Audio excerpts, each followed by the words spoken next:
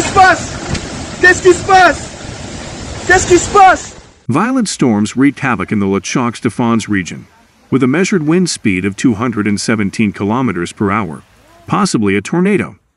Fortunately, there were no confirmed casualties, but extensive damage occurred, including a construction crane falling on a vehicle, igniting a fire. SRF Meteo and MeteoSchweiz are investigating. The Clock metropolis saw vehicles destroyed, roofs ripped off, and airborne patio furniture. Dozens of trees were uprooted and beheaded.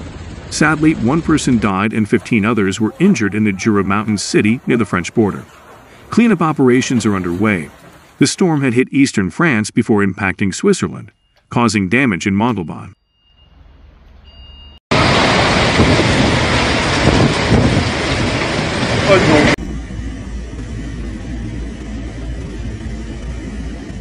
A massive fire erupted in San Cataldo's pine forest, leading to the evacuation of the marina and nearby houses, including villas and bathing establishments. Firefighters are battling the blaze to contain its rapid spread, while strong winds in Salento pose challenges. Black smoke from the fire is visible for miles, causing concern among residents and beachgoers seeking shelter. Emergency services received multiple calls, reporting at least two fire outbreaks near bathing establishments, villas, a church, and the coastal road. The fire brigade remains committed to addressing these summer fire incidents, causing traffic problems with blocked roads. Oh!